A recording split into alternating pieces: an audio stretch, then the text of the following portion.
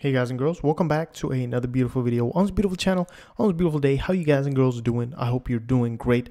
As always, please check out the description box for all the nice links. Also drop a like, subscribe if you like the content. Check out the top right eye for another bunch of nice links. And also hope you're staying safe during this corona period. Uh, we're doing good. I'm working from home, so no issues here. My wife is working uh, at the hospital, so it's kind of dangerous, but we'll see what happens. I think we'll be fine. But you guys take care, okay? Just stay inside, keep coding, all right? That's all you need, and you'll be good. So in this video, I want to start off by fixing something that I did wrong in the last video. So what that was, was this attenuation calculation. So you want to do a plus here, okay, 1.f plus all of this, and then you want to add an addition plus here as well after this part, okay? And that should be it. And the lighting is really weird otherwise. That's why it was super strong because I had the multiplication going. So you want to do that. Um, and that's very nice. That's very nice. If you go to your diffuse calculation as well, I want to add a normalize here because I don't want any issues from this because I'm adding normalize to just about anywhere I'm using the normal, which is good. All right, and then we'll run this. Hopefully we'll see a lot nicer colors and a lot nicer. Yeah, there we go. Okay, good, good. Now I have this texture going and it's kind of bugging me. I don't like that texture. So I'm going to remove that just for our, our uh, you know, mental state. To do that, we're going to go to our specular texture and we're going to comment this section out and we'll just duplicate that and that's the part where we use the texture and here we're not going to use the texture. So I'm just going to remove that texture part. But keep this line because you probably want to use the texture later anyway.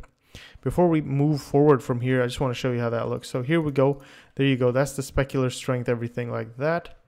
And the further down you go the more it kind of looks different. The further away you go the more it gets diffused.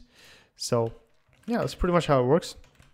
Now we're going to keep working on our light classes and we're going to do the best we can because we have a light base class. Now I just want to explain this before we go on. We're going to have a light base class which shouldn't be able to be created because we're going to be able to create point lights, directional lights, uh, all kinds of lights, okay? All kinds of lights, spotlights. So that's why we're just going to use that as a base. So begin by creating a class point light, just as you always do, point light, and you want this to be child of light. Okay, public light. I don't remember if you just do that in, I think you can do public, I think so. I don't know, I, am forgetting my C++. We'll see, it doesn't really matter right now because we won't be creating them right now. Uh, public as usual.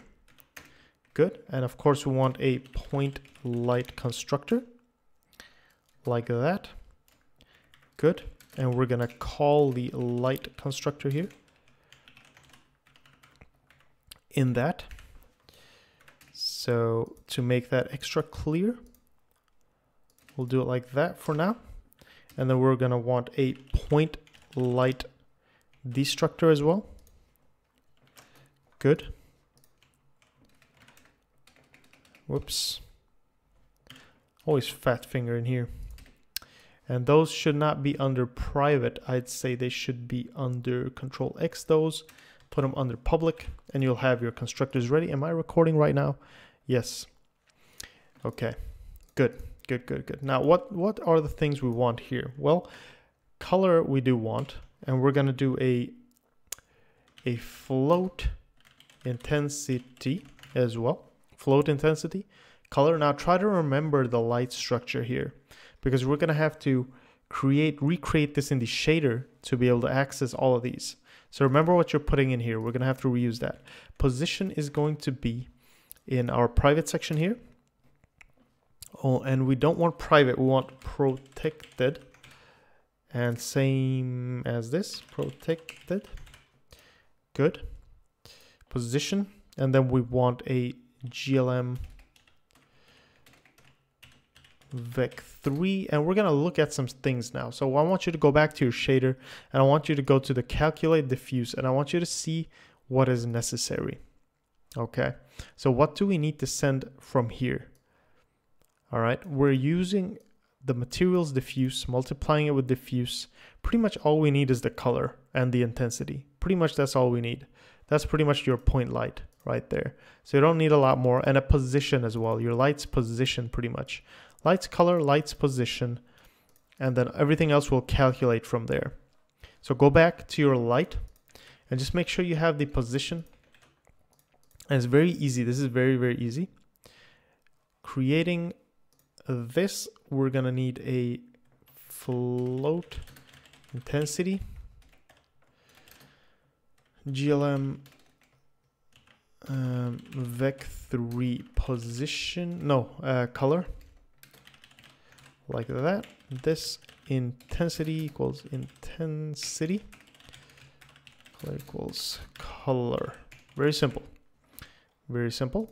Now, this is to use the position glm vec3 position float intensity glm vec3 uh, vec3 color. Good. Good, good, good. And we want to send in intensity in here and color in here as well. Very good. Now we're using vec3s for all of this, which is all right, because I think you want to keep it like that since it's all vec3s in here anyway. So make sure to keep it like that. Go back to your light.h and then just say this position equals position. Good. And this is just raw data. All right. This is just going to keep this data for us. So we don't have to do anything special until we start rendering an object for light. So we might have a mesh in here that has, uh, that's kind of a light mesh. And then we'll make a light shader, which isn't affected by the regular shader. So we just have a white box, basically a shiny box uh, which is emitting light. So in different colors, depending on the color you give in here. So that's kind of my idea right now, but this is just a setup for that. So once you're done with this, all of this, I want you to remember these values and I want you to go to your fragment core. I want you to make a struct in here. Struct point light. Okay. Point light. And it's going to have more than just the diffuse. Let me tell you that. So it's going to have this ambient and the specular and all that stuff as well. Uh, since this is all what a point light contains, but for now I'm just putting this in. We'll add to this because we don't have enough time in this video. Uh, but what I'm going to do is I'm going to do a vec3 position and then vec or float intensity vec3 color. Okay. So once that's done, you'll have at least these three to play around with. And then I want you to just close that. Don't forget the semicolon here. You're to crash. Once that's done, go in here. And I want you to make a public function. Okay, void. And let's look at how we did it so we have some consistency. Let's go to material.h and let's see how this works. So we have our private things, our constructor, destructor empty we want to just copy the whole send to shader function and put it in our light.h. Boom, send to shader, easy as that. To a shader program, and we're gonna send some stuff in. So let's remove two of these, and let's go to our ambient first, and we will, you know, send position first. Okay, this position, uh, let's see, oh, this doesn't have a position. Wait, let me see. This actually what we're gonna do is we're gonna remove that and we're gonna say equal zero here. Uh, let's see, virtual. Okay, so now this is an abstract class. That's very good. So once you do that, you have you're required to create this function in here. So we're sending position in and make sure it's a vec3 f, which it is, which it is. And we're gonna instead of doing material ambient, we're gonna do light point light, depending on what we call it in there, but we'll just keep it like this right now. Position, position. Make sure you spell this correctly. Now we need intensity. Set 1F. See how nice it is to have uh, to have this function functionality. It's like it's beautiful. Intensity. Spell it correctly. Uh, and then we need color. Color, Vec3 color.